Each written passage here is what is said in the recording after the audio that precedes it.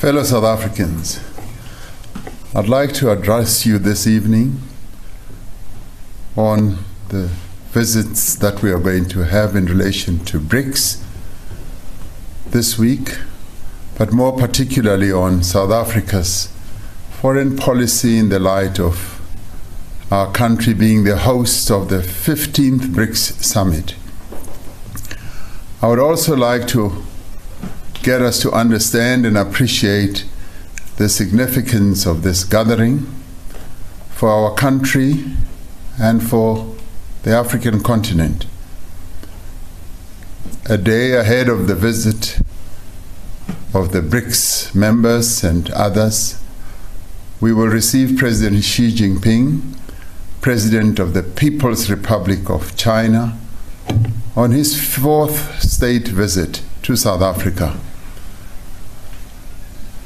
This BRICS summit and the state visit by President Xi Jinping, as well as the many bilateral meetings and engagements we will have with President Lula da Silva of Brazil, with Prime Minister Modi of India, and many other heads of state on the sidelines of the summit have a bearing on our relationships with other countries and South Africa's place in the world.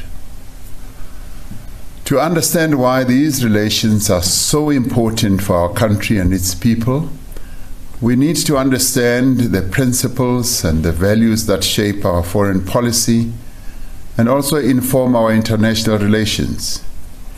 Before the dawn of democracy in 1994, the apartheid South African state was a pariah in the international community, condemned for committing a crime against humanity. The foreign policy of apartheid South Africa was defined by coercion, destabilization, and military aggression. Since the advent of democracy, South Africa's foreign policy has been based on what our forebears inscribed in the Freedom Charter in 1955 when they declared that South Africa shall be a fully independent state which respects the rights and the sovereignty of all nations. South Africa, they continue to say, shall strive to maintain world peace and the settlement of all international disputes by negotiation, not war.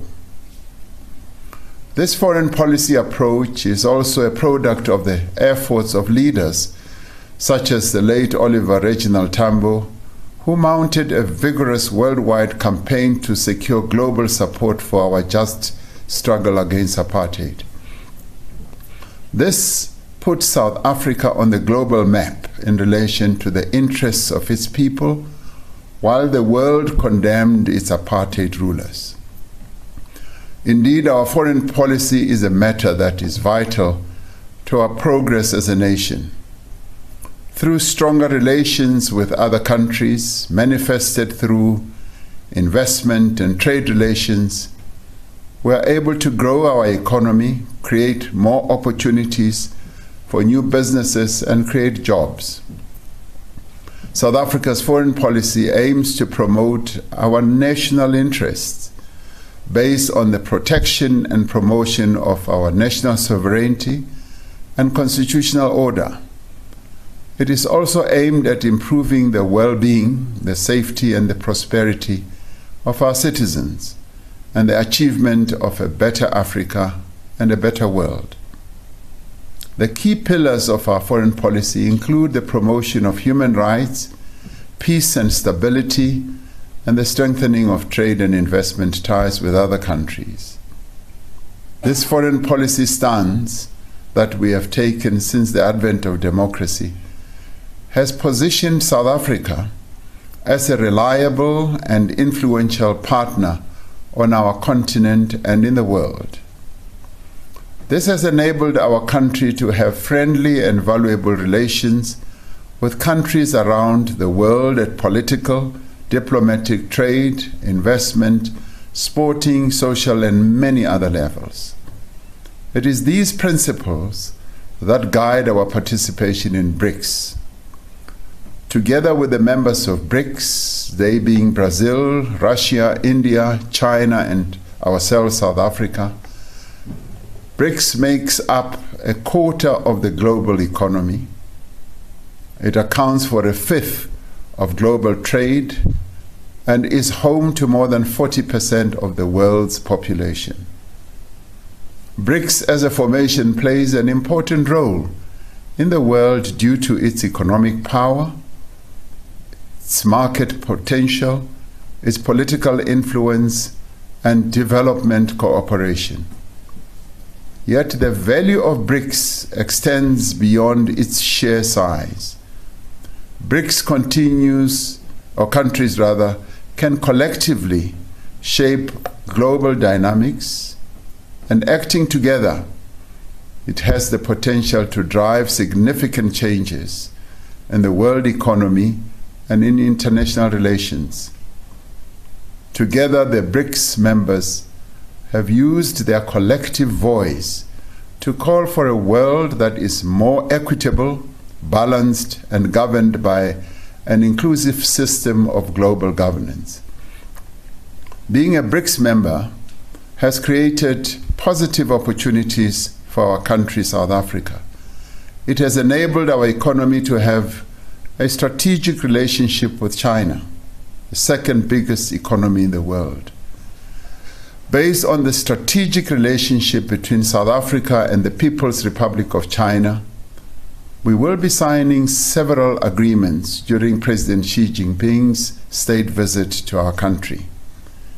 We have steadily strengthened trade and investment ties with other BRICS countries alongside collaboration in areas like development, skills, technology, security, and innovation.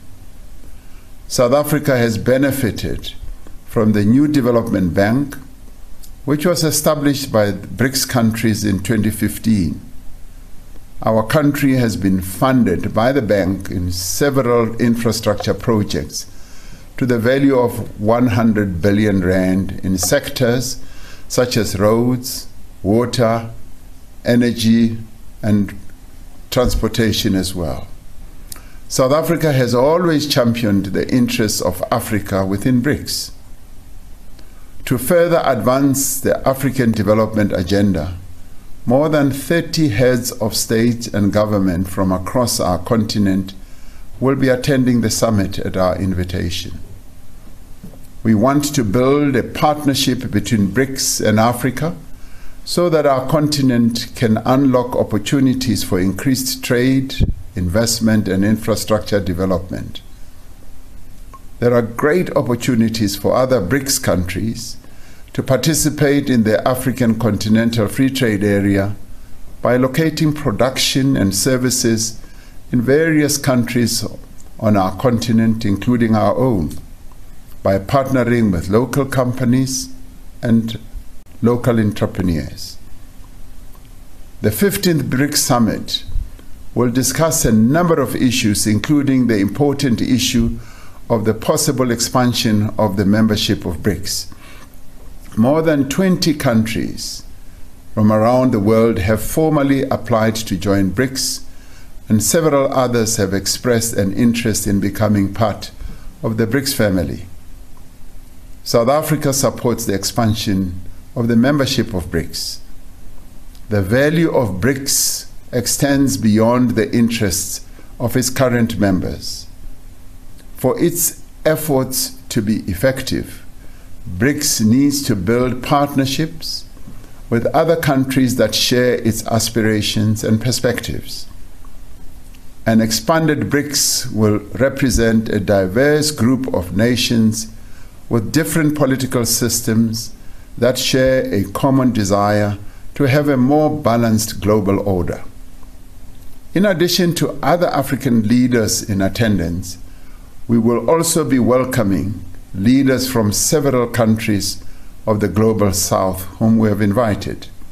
These include countries from the Caribbean and South America, from the Middle East, from West Asia, South Asia, and Southeast Asia as well. This BRICS summit is particularly important as it is being held as the world is confronted by fundamental challenges that are bound to determine the course of international events for years to come. Our world has become increasingly complex and fractured as it is increasingly polarized and competing with each other in various competing camps. Multilateralism is being replaced by the actions of different power blocks, all of which we trade with, we invest with, and whose technology we also use.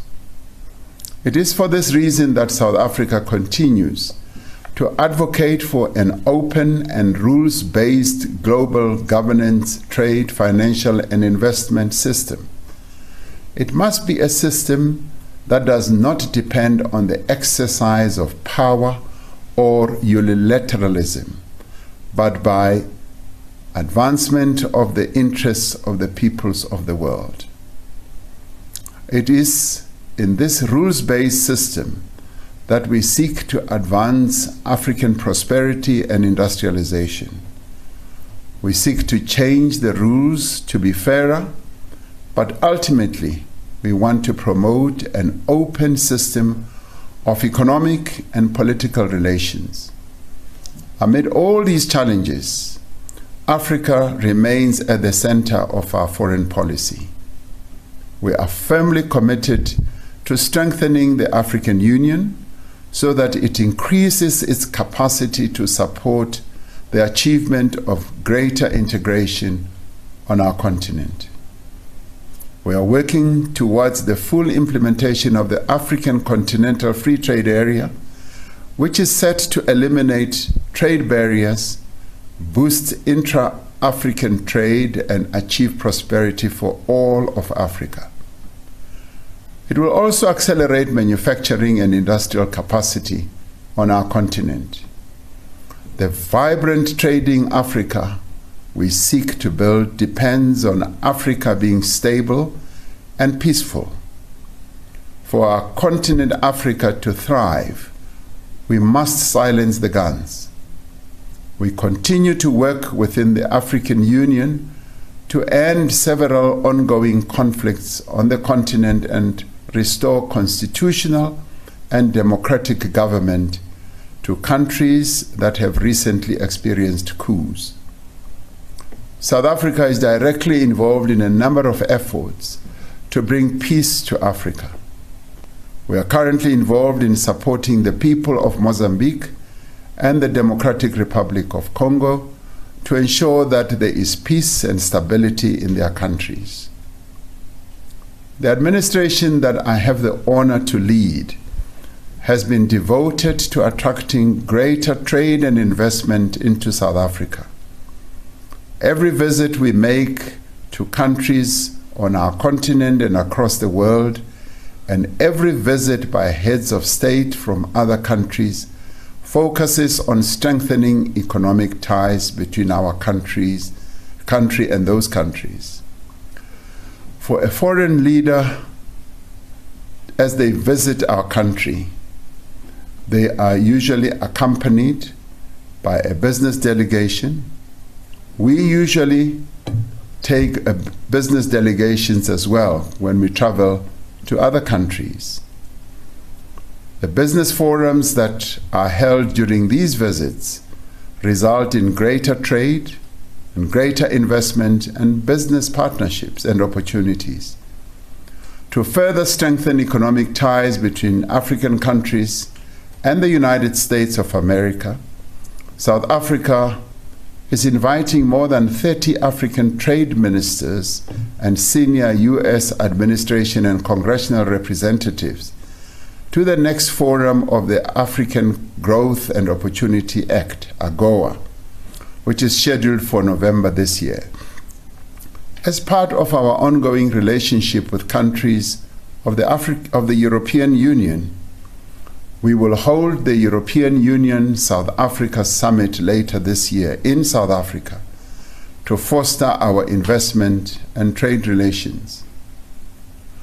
Recent trade statistics indicate the success of all our international links.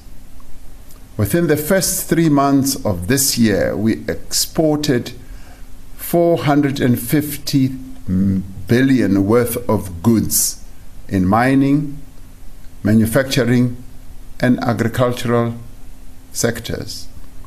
Our biggest exports were to China, followed by the United States, Germany, Japan, and then India. Exports to other African countries account for around a quarter of the value of all our exports. Our tourism industry is recovering well from the effects of COVID 19. More than 4 million tourist arrivals were recorded in the first half of this year, almost twice as many arrivals as in the same period last year.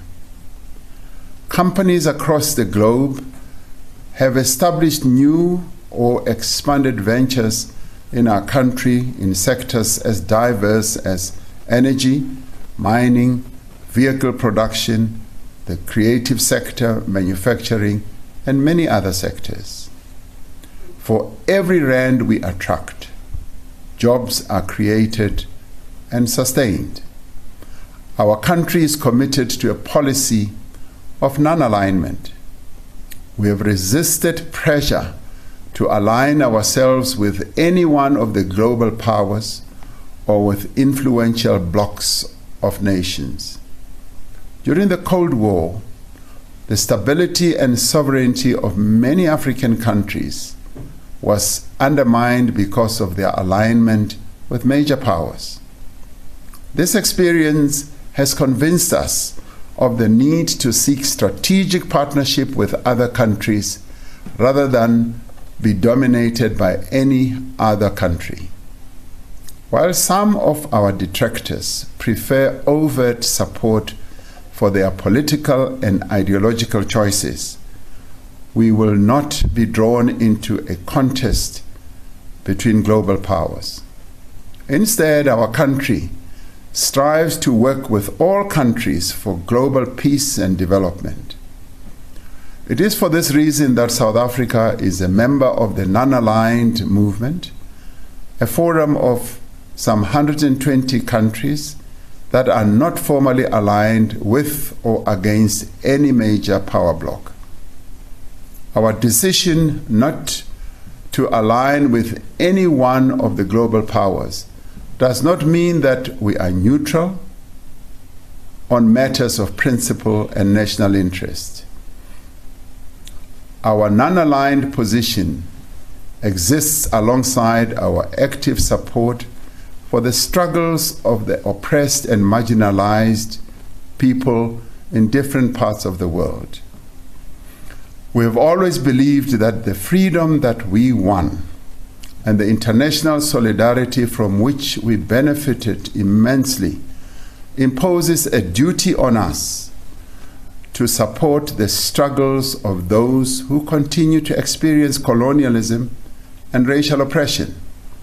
That is why we will continue to support the struggles of the people of Palestine and Western Sahara. We are fully committed to the articles of the United Nations Charter, including the principle that all members shall settle their international disputes by peaceful means. More recently, we participated in the African Peace Initiative to seek peace in the Ukraine and Russia conflict. Through this African Peace Initiative, our country continues to be involved in processes to ensure that the children who were removed from their homes in Ukraine are returned to their families and that the prisoners of war on both sides are exchanged. We continue to be involved in the talks regarding the reopening of the Black Sea to facilitate the flow of grain to the world markets. We firmly believe that dialogue, mediation, and diplomacy is the only viable path to end the current conflict and achieve a durable peace. We support the principle of respect for the territorial integrity and sovereignty of all states and peoples. In the midst of the grave challenges facing humanity, we are determined that a reformed and representative United Nations must be at the center of global affairs. Our support for the UN exists alongside our firm belief that this premier multilateral institution needs genuine reform to make it more democratic, more representative, and efficient. The, the, UN Security Council must be transformed into a more inclusive, more effective body that is able to ensure peace and security. We're very pleased that the UN Secretary General, Antonio Guterres, will be attending the BRICS summit at our invitation. South Africa, as a member of the Community of Nations, will continue to play a constructive role in world affairs. In 2025, South Africa will assume the presidency of the G20 group of nations. This will be the first time that the G20 meetings are held and hosted in Africa. The G20 summit in 2025 will be an opportunity for South Africa to take a lead on critical challenges facing the global community. South Africa's approach to foreign relations is to seek increased collaboration, to secure greater trade opportunities and increased investment, and to work closely with partners across the globe to entrench peace and democracy and prosperity. As we continue to define our place as South Africa in the world, as we advance the needs of our people, we will continue to mobilize all moral, political, and economic strength on the side of peace and development for all of humanity. We will continue our efforts to give effect to the call of the Freedom Charter that there shall be peace and friendship.